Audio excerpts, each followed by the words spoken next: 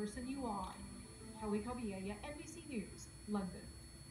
When we come back, how those we turn to for a laugh are setting their jokes aside.